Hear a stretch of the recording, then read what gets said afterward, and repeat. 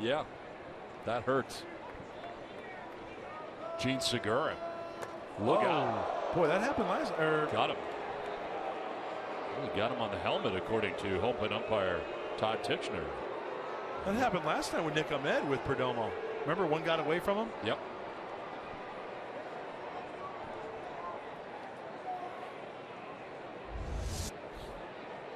Wants it down and away, and that one leaks, and kind of tough to tell if that hit the Uh, helmet, did it? Yeah, I'm not sure. Well, it, gra it grazed. I didn't see the ball change direction. Very tough to see. Oh, that doesn't even look close, does it? Didn't even hit him. No. Did a good acting job.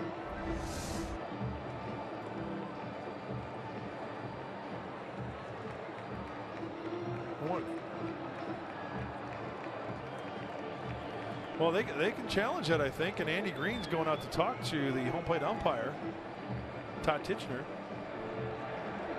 They're going to challenge it. Earmuffs. Look at him looking at his helmet. See if he can find the scuff mark. Hey, let me first and foremost say, you know, I don't like the ball. I don't care who it is, up and around the head. That's that's nasty. But from that second angle, it, it didn't even look like it was close. I, I, sh- I take that back. It was close, but there was plenty of space between the ball and the helmet. Well, he was pointing to the scuff mark on the top of his helmet to Wil Myers, but we'll see what the umpires think. See if we get a better look at this.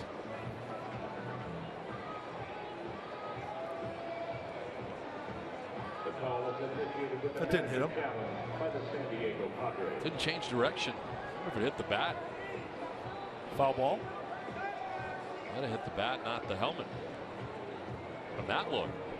Looked like it changed direction on the bat, not the helmet. I don't know. We'll see. Helmet. I don't That know. hit the bat. It hit the handle of the bat. Did you see it change direction, then into the glove of Norris? Yep.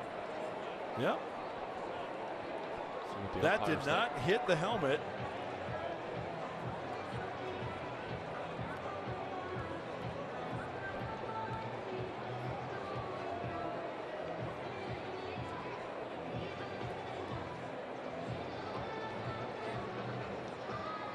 Again, the call on the field, hit batter. And the indication by home plate umpire Todd Tichenor was that it was on the helmet. See, to me, that's definitive. The, because the helmet doesn't move, the ball doesn't change direction until it hits that handle of the bat. Yep. Clearly.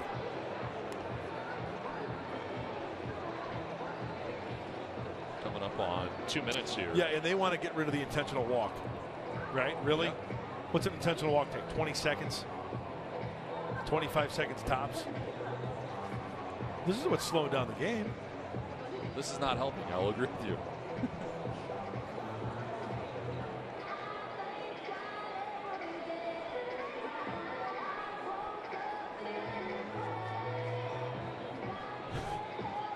You know what? If they if they don't get this one right, I'll be really upset.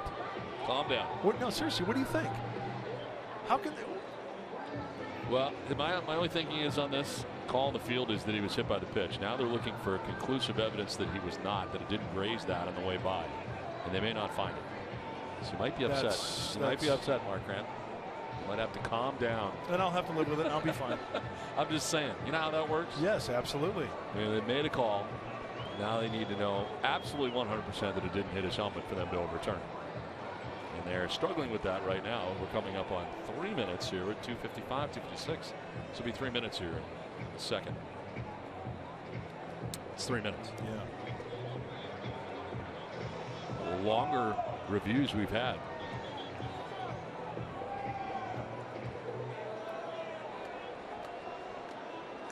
Maybe the lines are jammed. They're just getting flooded having trouble getting through to New York. I think they're talking to New York. I'm, I'm fairly confident they are talking to New York. I think I just saw one of the umpires ask for the fleece pullover. With, Oh. Along with the subscription. Uh, Oh, what? Oh. what? Oh. Do I get the extra month in that subscription? Okay. All right, okay. good. I'm, I'm in. Done deal.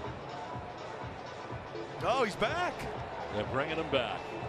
And it's a foul tip and went off the bat. So not only is he not hit by the pitch, but it's going to be a strike. And you know what? I think he should be given a red card because just like a soccer player, he took a flop. A, a red card. Out of the game, red card, gone. He flopped. He didn't get hit. He flopped. He should be ejected from the game.